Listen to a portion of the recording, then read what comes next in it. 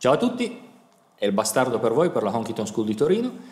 Eh, in questa nuova lezione vi farò vedere un pochettino, faremo una breve escursione sui, sui sites e le forme storiche degli ukulele eh, e, e alcuni ukulele che hanno definito proprio la storia dello strumento e anche quelli che hanno influenzato maggiormente la musica americana.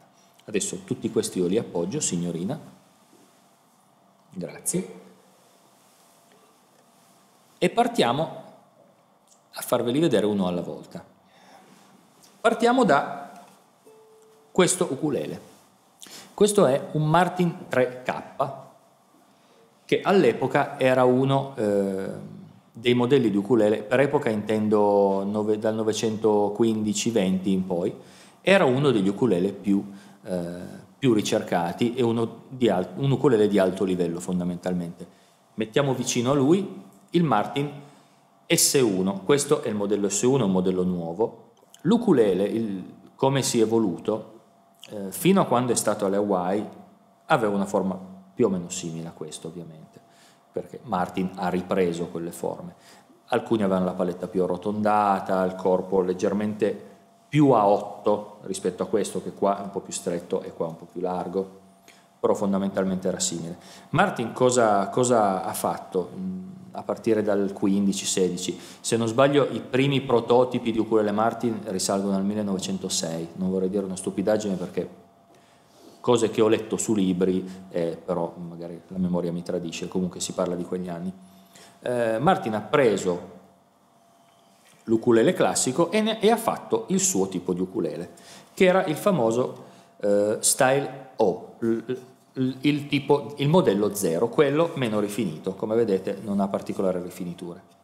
Era completamente in mogano, se non sbaglio la tastiera all'epoca era in ebano, così come il ponticello, ed era il modello più economico, infatti è quello più diffuso, ancora adesso. Vintage se ne trovano degli anni 30, eh, ancora in buono stato ovviamente. La cosa importante è che Martin Già all'epoca era, era un'industria con 100 anni di storia di produzione di chitarre, quindi era già uno dei più grandi e blasonati produttori. Sono entrati nel mercato dell'ukulele e hanno ovviamente eh, preso quasi, eh, quasi preso il monopolio, perché poi Martin stessa all'epoca costruiva ukulele che venivano marchiati, per esempio per Dixon, che era un altro negozio famoso in America, con piccole variazioni, ma era sempre Martin che li produceva, definendo quello che noi ci immaginiamo quando si dice la parola ukulele. Questo. Tant'è vero, per esempio, che se voi vi ricordate eh, il film eh, Some Like It Hot, che tradotto in italiano a qualcuno piace caldo, con Jack Lemmon, Walter Matthau, eh, non era Walter Matthau, Jack Lemmon e Tony Curtis, scusate, e Marilyn Monroe, nella locandina di A qualcuno piace caldo c'è Marilyn che suona questo ukulele completamente bianco, perché chiaramente era, aveva, era, un vezzo che doveva avere il personaggio di Marilyn in, quella, in, quella, in quel film. Noi quando diciamo ukulele ci immaginiamo facilmente questo, il Martin.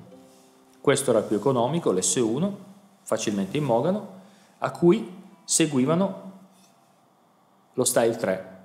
Questo è uno Style 3K completamente in coa, che è il legno havaiano per eccellenza. Le Hawaii erano anche grandi esportatrici di legno di coa, che è eccezionale per fare gli ukulele a mio avviso, ed era già più rifinito, vedete che ha questo, questo fregio tipico che riprende la paletta, tastiera in ebano, tutto completamente in coa e ha il binding, comincia a vedersi il binding anche centrale sulla, sulla tastiera, erano tutti eh, questi fondamentalmente abbellimenti che a livello di suono non è che abbiano dato più di tanto, però il Coa più selezionato rispetto magari al Mogano che poteva essere un po' meno selezionato dello Style 1 faceva venire fuori un suono già sia a livello che di, di volume che di timbrica qua monto le stesse corde quindi era già, era già un modello che era più bello e suonava anche più forte e meglio Ok, e abbiamo parlato degli ukulele Martin che hanno definito, eh, brevemente parlato, ci, sarebbe, ci, sono libri e libri che parlano della storia, definito diciamo la forma standard per l'ukulele. Signorina, grazie. Adesso se sei così gentile da passarmi i due resofonici, Detto questo, apriamo una parentesi su un altro produttore importantissimo dell'epoca, la National Resophonic Instruments. Negli anni 20 due fratelli, fratelli doppiera, due cecoslovacchi, che avevano già fatto esperimenti di violini con un sistema interno di, eh, di riproduzione del suono, il cosiddetto resonator, qua sotto, qua sotto c'è un cono, un cono in alluminio che appoggia in questo modo, come fosse un cono di uno stereo praticamente, la forma è quella, ed è quello che vibra e produce il suono, a differenza dello strumento acustico che fa vibrare il corpo. Comunque, i fratelli Dopiera, a seguito delle richieste di tale George Bishop, chitarrista molto noto all'epoca, che aveva il problema che tutti i chitarristi avevano negli anni 20 e 30, la chitarra non si sentiva. Nelle orchestre con gli ottoni, la batteria, il banjo che aveva un volume devastante, così il, la chitarra stava, non dico cadendo in disuso, però stava sempre più eh, rimanendo relegata a un ruolo di, di mera vaga atmosfera che si sentiva in lontananza ehm, durante i concerti. C'era quindi la richiesta di strumenti con più volume e eh, infatti il banjo era molto usato, tanti chitarristi si spostavano a usare il banjo. Le orchestre di primo jazz, di jazz tradizionale, anche solo di popular music, quella che, come dicevamo, evolveva diciamo, dalla musica dei fratelli Schoenberger o di Irving Berlin. Cosa succede? Questi fratelli doppiera, grazie all'interazione con George Bishop, si, si inventano lo strumento resofonico. Il primo strumento resofonico è quello che vedete alle mie spalle, è una chitarra, è la National Style O, che è la mamma di questo ukulele, l'ukulele National Style O, con, spero si veda nella, nelle riprese, con tutto un abbellimento, un ornamento sabbiato con figure di palme havaiane e cose di questo genere, una figura di un tramonto alle Hawaii, si intravedono le montagne in secondo piano, si intravedono un po' di cose bellissime. Lo stesso motivo c'è sulla chitarra Style O.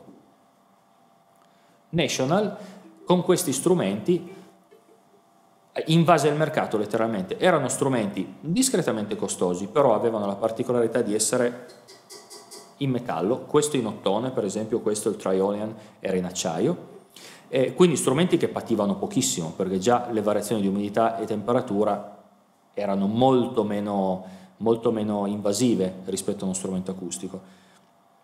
Tant'è vero che ci sono strumenti dagli anni 20 che suonano ancora adesso in giro per il mondo, ce ne sono anche tanti perché salvo incidenti sono rimasti. Hanno, avevano inventato quindi uno strumento con tanto volume, un bellissimo timbro, facile da utilizzare girandoci perché appunto resisteva a temperature, resisteva un po' a tutto, era un po' un carro armato. E hanno inventato uno degli altri eh, standard dell'ukulele. L'ukulele resonator è questo qua. Ci sono produttori in giro per il mondo che ne fanno di anche più belli, forse, in certi casi molto più rifiniti, però è ovvio che il National è sempre il National, è lo strumento resofonico per, per eccellenza. E attenzione, non è un ukulele dobro, come non è un dobro questa chitarra qua dietro, è uno strumento a risuonatore, un resonator i dobro sono quelli che sono nati poi dopo, sono strumenti con una tecnologia interna simile, ma non questa, che i fratelli Dopiera avevano brevettato a seguito della loro scissione dalla National Guitars loro erano stati furbi, no? Cosa hanno fatto? Hanno fondato la National Guitars, avevano registrato i brevetti degli strumenti resofonici a nome National Guitars, quando loro hanno avuto a che dire con Bishop e se ne sono andati, Bishop gli ha detto io i brevetti non te li cedo le licenze e li costruisco solo io. E quindi loro si sono inventati un sistema simile, eh, un po' differente, che magari vedremo più avanti, ma è più tipico delle chitarre dobro, quelle che vedete più usare per esempio nel bluegrass, il country bluegrass americano usano il dobro. Lo strumento a resonator è uno strumento eccezionale perché un timbro bellissimo, un volume, un volume mostruoso rispetto a un ukulele normale, anche se devo dire che i Martin, i, se, la, se la, come si dice qua a Torino, se la giocano abbastanza anche loro in termini di volume rispetto agli altri.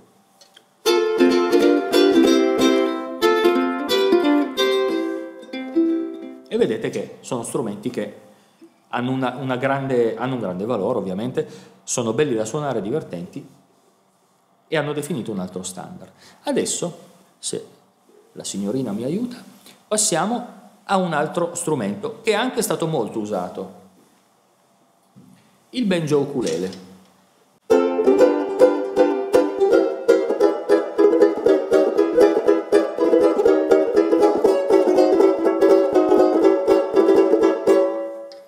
Banjo ukulele che negli anni 20, anche grazie a Gretsch, questo è un Gretsch Clarophone, ma è una riedizione cinese nuova, che come dico va benissimo e costa poco. Anche grazie alla, Gretsch, alla Gibson, alla Ludwig che faceva degli, degli ukulele, banjo ukulele eccezionali, eh, è stato anche molto diffuso, sempre tornando al discorso del volume, della trasportabilità. Eh, su tutti George Forby, che è stato il più grande suonatore di banjo ukulele della storia, era un crooner inglese, è stato uno strumento che è anche diventato uno standard. Il banjo ukulele poi in queste dimensioni è addirittura uno strumento che si può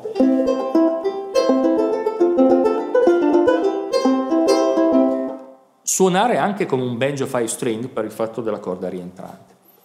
Però il bello è suonarlo come, quello, come il tenor banjo, quello a quattro corde, più tipico della musica del jazz di Chicago, del jazz di New Orleans, di queste cose qua, con cui si suonano.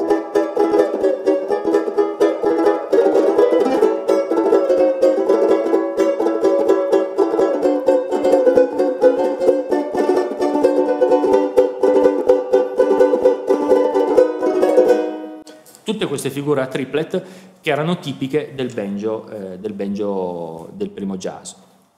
Concludiamo, grazie signorina, con eh, una forma che sempre negli anni 20-30 era stata anche molto diffusa, adesso un po' meno, il famoso ukulele pineapple, fatto a ananasso, che è un ukulele acustico eh, come tutti gli altri. Questo questo è un ukulele di un ukulele cinese che, che suona bene, costa poco,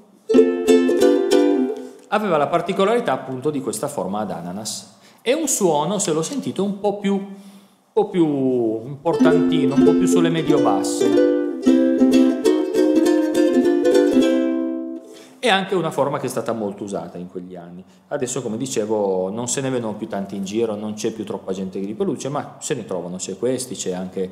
Ehm, la Flea Ukulele, mi pare che fanno un modello Pineapple, da avere. Comunque uno strumento carino, bello, che vi dà un vezzo di, di differenza quando suonate, magari in una, in una, moltitudine di ukulele tutti uguali. Questa lezione era un po' più discorsiva, vi abbiamo illustrato i, i, modelli, i modelli, storici dell'ukulele, almeno quelli che potevo, che potevo, farvi vedere.